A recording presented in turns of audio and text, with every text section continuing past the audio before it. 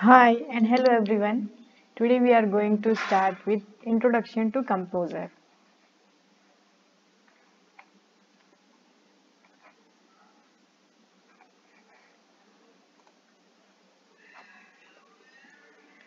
So let's start with it. Creating HTML form in composer. So before creating forms, let's understand what is form.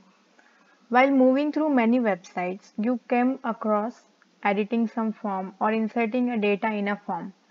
Means कभी कभी क्या होता है कि जब भी हम वेबसाइट पे विज़िट करते हैं तो कभी कभी लॉगिन के लिए या फिर किसी और ज़रूरत के लिए हमें रजिस्ट्रेशन करना पड़ता है फॉर्म में. So that type of forms हम यहाँ पे आज बनाने वाले हैं with the help of composer so let understand what is form so form is a container use to collect different inputs from the user और आप ऐसे भी कह सकते हैं कि एच फॉर्म जो है वो एक टाइप का कंटेनर है।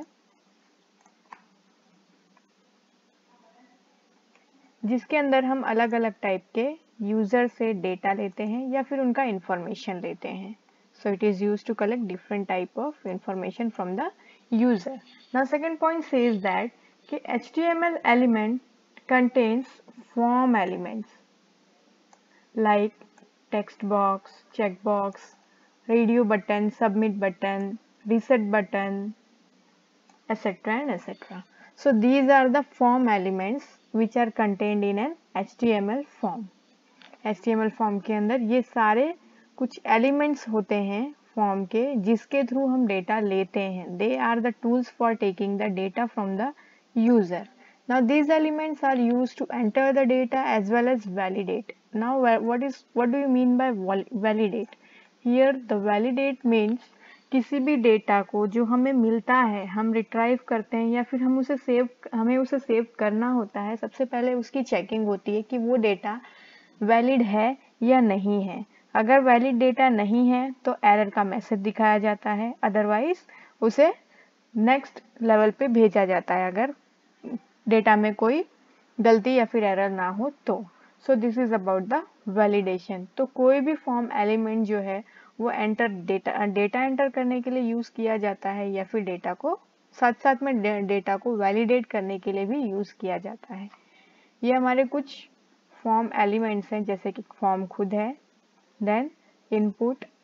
for taking the different type of inputs with the help of elements now text area, then select an these are the four things basically that we are going to study today. So, next, moving to our next slide. It is about form element. Form element जो है वो use किया जाता है form को create करने के लिए for creating the H T M L form it it acts as a container for all the elements use in the form मतलब जितने भी एलिमेंट्स है रेडियो बटन है चेक बॉक्स है इनपुट बॉक्स है देन टेक्स्ट एरिया है, वो सारे एलिमेंट्स जो हैं, वो इसी फॉर्म एलिमेंट के अंदर होते हैं। Form elements starts with this tag that is that is form and slash form this is called opening tag and this one is called closing tag जहाँ पे भी आपको स्लैश साइन साइन दिखे it means that it is a closing tag so ये form का use करके हम form को इम्प्लीमेंट करते हैं। Now this is very important topic as there is many thing inside is it like uh, it is you it uses two attributes मतलब form के अंदर दो attributes होते हैं the first one is the action attribute and the second one is the method attribute action attribute हमें ये बताता है कि जब भी हम फॉर्म को सबमिट करेंगे तो जो कुछ भी फॉर्म में डेटा है वो कहाँ जाएगा what is the next level that we have to do वो हमें स्पेसिफाई कौन करेगा? Action now coming towards the method method is again it takes to value first is get and the second one is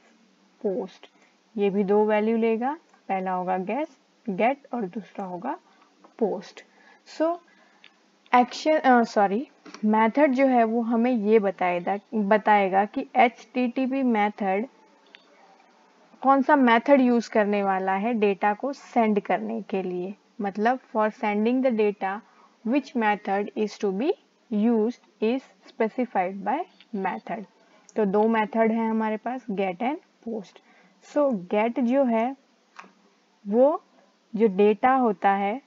उसे retrieve करता है और वापस से सर्वर के पास भेजता है. बट कैसे? उस डेटा को वो U R L that is uniform resource locator के एंड में अटैच कर देता है और फिर उसे सर्वर पे भेजता है बहुत ज़ाहिर सी बात है कि अगर U R U R L के पीछे अगर वो अटैच करके भेज रहा है इट मीन्स बहुत ही लिमिटेड इंफॉर्मेशन हम उसमें से भेज पाएँगे So, get allows only a limited amount of information to be sent at a time because the information are attached at the end of URL. You know very well what is URL. You know Uniform Resource Locator. It means आप जब भी web search करते हैं तो आपको address bar में दिखता होगा H T T P S then double slash call and W W करके जो कुछ भी दिखता है that is known as U R L uniform resource locator now moving to the second type of method value of method that is post post जो है, वो पूरे ब्लॉक में इंफॉर्मेशन या फिर डेटा सेंड करता है with the help of H T T P transaction H T T P transaction को यूज़ करके पूरा पूरा ब्लॉक डेटा का पूरा ब्लॉक सेंड किया जाता है पोस्ट में और पूरा पूरा ब्लॉक सेंड किया जाता है इस वजह से हम इसके अंदर अनलिमिटेड इंफॉर्मेशन सेंड कर सकते हैं। अब देखिए डेटा जो कुछ भी होता है, वो कहाँ पे रहता है? रिक्वेस्ट की बॉडी में डाला जाता है और फिर उसे भेजा जाता है। So the data is included in the body of the request ना this is the very important one that it says that कि डिफ़ॉल्ट वैल्यू जो है वो मेथड की वो है गेट इट मीन्स दैट अगर आप मेथड में कुछ भी स्पेसिफाई नहीं कर रहे हैं while creating a form then it will take get as a default method. Now, moving towards the next topic, that is input element. Input elements जो होते हैं, वो अलग अलग टाइप के फील्ड्स जैसे कि radio button text box check box forms ये सारी चीज़ों को इनपुट करने के लिए मीन्स कि यूज़ करने के लिए, हमारे फॉर्म में इंसर्ट करने के लिए यूज़ किए जाते हैं हम इनपुट और इनपुट स्लैश मतलब इनपुट का ओपनिंग टैग और क्लोजिंग टैग के बीच में सारी सारी चीज़ें लिखने वाले हैं। सो इनपुट एलिमेंट्स को इम्प्लीमेंट करने के लिए हम ये दोनों टैग का यूज़ करेंगे। इनपुट एलिमेंट के अंदर तीन टाइप के एट्रीब्यूट्स होते हैं। Name type and value so let start with the type type means ये हमें बताएगा कि हम जो कुछ भी इनपुट में एलिमेंट ले रहे हैं, वो कौन से टाइप का होगा? मतलब फॉर्म बनाते टाइम पे जो कुछ भी हम फील्ड्स लेंगे, वो कौन सा फ़ील्ड होगा? वो हमें यहाँ पे टाइप में स्पेसिफाई करना है। जैसे कि सपोज़ मैंने टाइप में, मैं चाहती हूँ कि इनपुट बॉक्स हो तो मुझे type is equal to text box लेना पड़ेगा। सपोज़ मैं चाहती हूँ कि रेडियो बटन हो तो type is equal to radio button लिखना पड़ेगा। Next one was the name ज़ाहिर सी बात है, हम किसी चीज़ को ले रहे हैं, किसी चीज़ को यूज़ कर रहे हैं तो हमें उसका नाम तो देना ही पड़ेगा। So here name is use to specify the name of field next one is the value value it is use for defining the default value of the form fields in the form like यहाँ पे आप देख रहे होंगे, हल्का सा लिखा हुआ है टेक्स्ट एरिया तो इस तरह का आप डिफ़ॉल्ट कोई वैल्यू चाहते हैं, या फिर इस तरह से टेक्स्ट इनपुट फोकस्ड ऐसा आप कुछ अगर लिखा हुआ पहले से ही चाहते हैं तो आप यहाँ पे डिफ़ॉल्ट वैल्यू में उसे लिख सकते हैं। Let's take a look of various type of fields जो इस तरह का कुछ दिखने वाला फ़ील्ड होता है, इसे हम बोलते हैं input sorry text box the second one is also a text box next third one is the text area इसे हम कहते हैं चेक बॉक्स जिसमें एक बॉक्स होता है और चेक मार्क होता है. It is it is known as check box ये भी उसी का एक एग्ज़ाम्पल है. Next one is radio button जो एक बटन टाइप का होता है और जिसमें एक डॉट होता है. इस तरह से हम इसे पहचान सकते हैं. This is the radio button this is also a type of radio button now this one a box, a text box having two arrow buttons. Up arrow button and the down arrow button इसे हम बोलते हैं select जिसमें से हम अलग अलग type के वैल्यूज़ सिलेक्ट कर सकते हैं। Now this is the submit button so the same thing is shown over here also बस थोड़े टाइप अलग अलग है। Now let's move. Here are the values of type attribute use in the input tag input tag में हम जितने भी type use करने वाले हैं, उनके वैल्यूज़ क्या क्या हो सकते हैं? सो so फ़र्स्ट आपने देखा कि रेडियो बटन कैसा होता है राउंड होता है और उसके अंदर एक डॉट होता है। तो ये रेडियो बटन होता है। रेडियो बटन जनरली दो, अगर हमने दो लिया है तो ग्रुप में होता है और इस, इनमें से हम कोई, किसी एक को सिलेक्ट कर सकते हैं। अगर आप HTML के यूज़ से अगर रेडियो बटन यूज़ करना चाहते हैं तो आपको इस टाइप का कोड लिखना पड़ेगा input type is equal to radio आपने देखा होगा टाइप में इन्होंने लिया है रेडियो देन नेम में लिया हुआ है where you can give your own name आप अपनी मर्ज़ी से कोई भी नेम दे सकते हैं. हियर वैल्यू में भी आप अपनी मर्ज़ी से कोई एक वैल्यू दे सकते हैं. Next one is the check box जिसके अंदर एक बॉक्स होता है और अंडर में चेक मार्क होता है. This is known as check box so check box भी जो है वो मल्टीपल टाइम्स हम बॉक्स को ले सकते हैं। बट एक बॉक्स एक टाइम पे ही सिलेक्टेड रहेगा। और बाकी के अगर आप सिलेक्ट करना चाहो तो बाद में सिलेक्ट कर सकते हो। So let's have a look on the code type में हम लेंगे चेक बॉक्स नेम में आप अपनी मर्ज़ी का नेम कोई भी दे सकते हो। और same thing in the value now next is text box. Text box आपने देखा होगा, एक रेक्टेंगल शेप का बॉक्स होता है, जिसे हम कहते हैं text box. So text box जो है, उसके अंदर हम कोई भी टेक्स्ट एंटर कर सकते हैं। जैसे आपका first name last name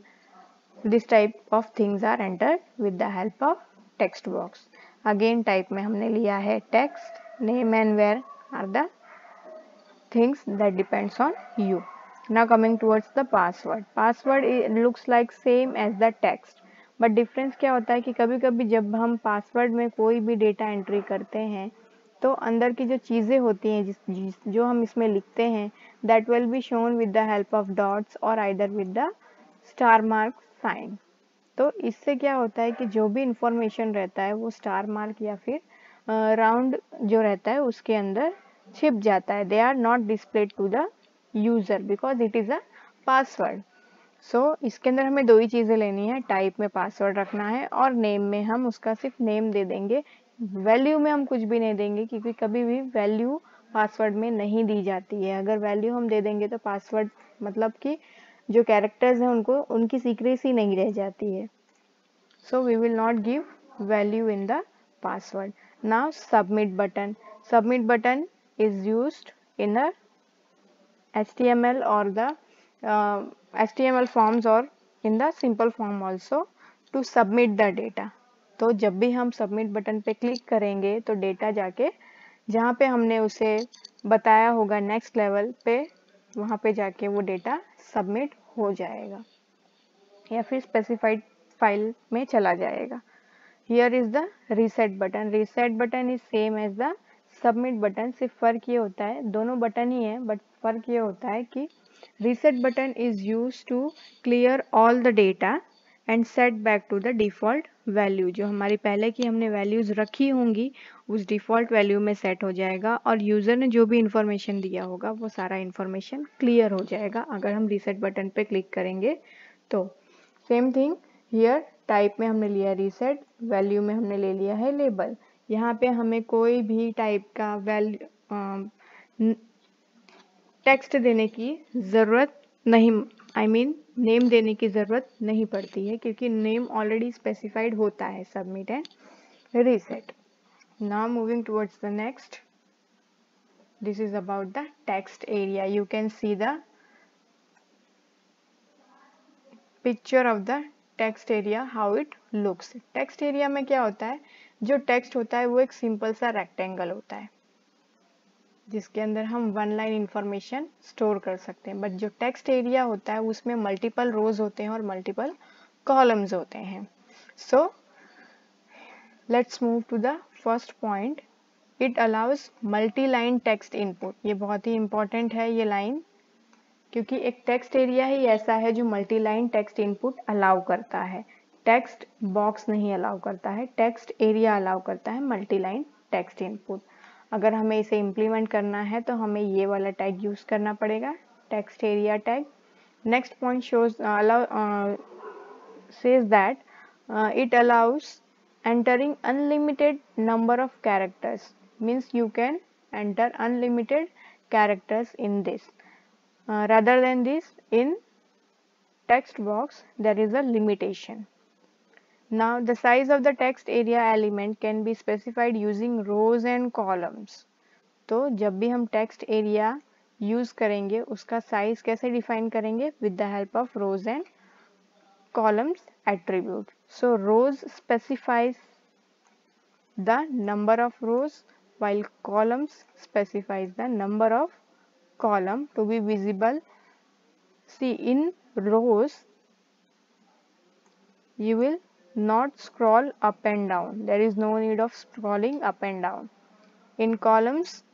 while specifying the columns it means you cannot scroll left or right. Now next is that is selection and option element. Here is again how it looks आप देख सकते हैं badminton, hockey, tennis, football, cricket, formula one, then rugby. These are the selection list with the help of this we can select any option which we want so let's move to the first point it is use to create drop down it is known as drop down list और the menu list why because when we click on the up arrow और the down arrow you will get many option तो इसे इसीलिए drop down कहा जाता है because once if you will click on this text box the list will get open from the down side that is why it is known as drop down list और menu the option element is use to specify the value to be displayed in the menu हम option का use कब करेंगे? Selection जो होता है, वो एक टाइप का फ़ील्ड होता है, जिसके अंदर हम यूज़ करते हैं ऑप्शन ऑप्शन एलिमेंट का हम यूज़ इसलिए करते हैं कि with the help of option we will give many types of values like here you can see badminton hockey these are the option badminton hockey tennis football cricket formula one all these are the option which are given to the selection box with the help of option element और ये option element के help से ही दिया जाता है। So selection list बनाने के लिए हम इस टैग का यूज़ करेंगे। सिलेक्ट टैग का यूज़ करेंगे ड्रॉप डाउन मेनू बनाने के लिए। और उस मेनू में ऑप्शंस डालने डालने के लिए हम ऑप्शन टैग का यूज़ करेंगे। Now moving towards the next that is what is IDE अच्छा आपने देखा होगा कि HTML में जब भी हम कोई फॉर्म बनाते हैं it is very tedious work because for each and every tool for each and every field for we have to write many codes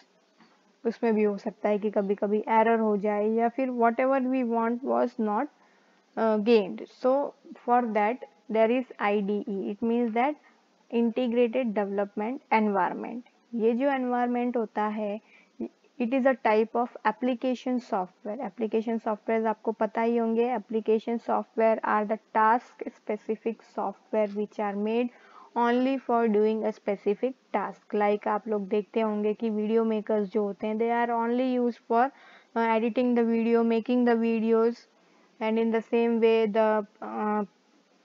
image softwares which are only used for editing or making the images like photoshop and paint all these are the uh, software applications so here is also software applications जो है वो integrated development environment जो है वो software application है which facilitates the programmer to develop the software तो ये IDG uh, IDE जो है that is used for developing the software now what it provides it provides many things like GUI sorry here I have to write GUI and I have written GUL correct it you have to write GUI it means graphical user interface it means कि यहाँ पे बहुत सारे graphics मिलेंगे जो आपको interface में मतलब का सॉफ्टवेयर से इंटरेक्ट करने में हेल्पफुल रहेंगे next it provides text or the code editor जिसमें आप अपना कोड लिख सकते हो। कंपाइलर मिलेगा जिसके हेल्प से आप अपने सॉफ्टवेयर को रन कर सकते हो।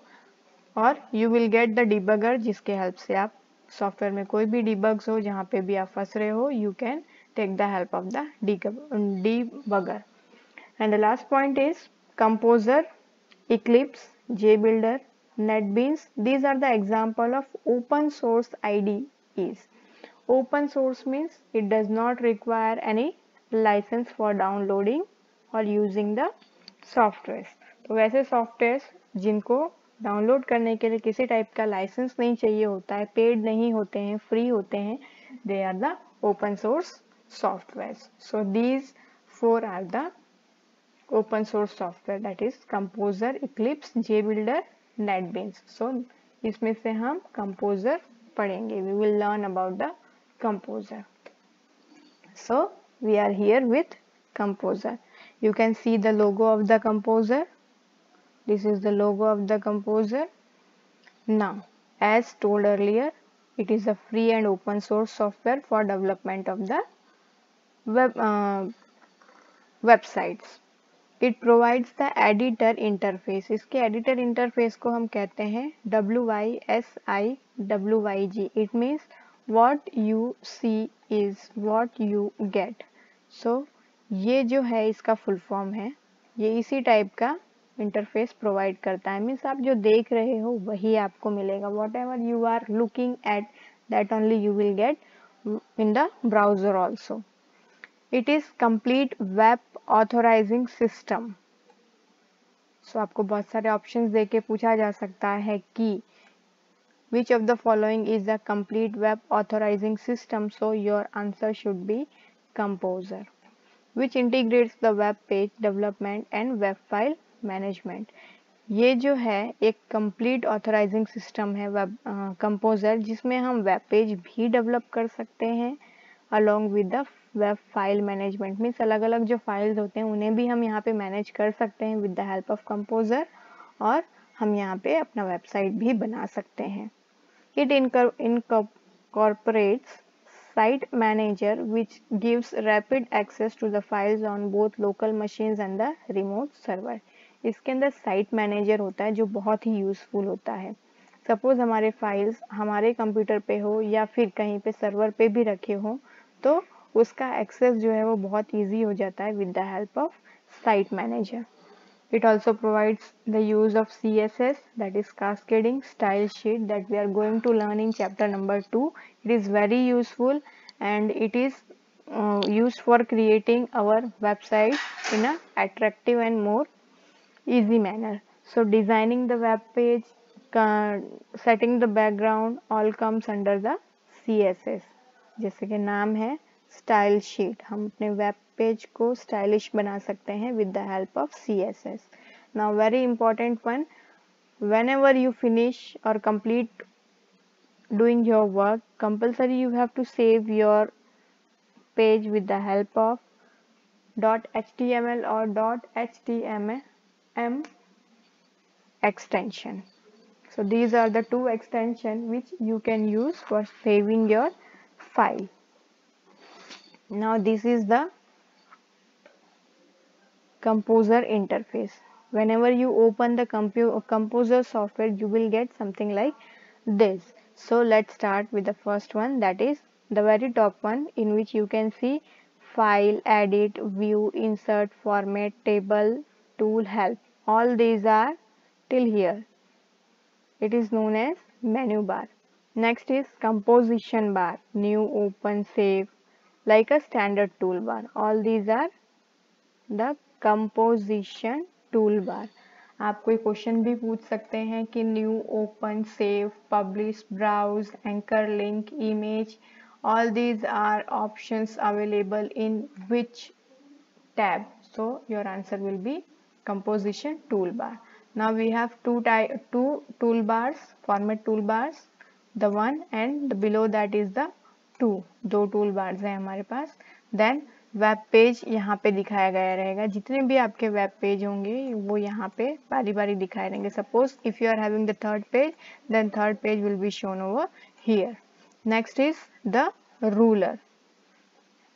this one it will show you the measurement here is 62 pixel and here is 2 pixel so this is the ruler now page area this one is the page area then site manager as I have so, uh, told you site manager is used for managing the uh, web pages remotely and uh, remote with the remote server and the locally also edit toolbar यहाँ पे नीचे आपको दिखेगा edit toolbar html text source and preview these are the three different edit modes ये भी exam में आता है कि which are the three different edit modes available in the composer so your answer will be H T M L tags source and preview now at last there is status bar it shows where you are it shows your status this is about the layout screen layout of your composer software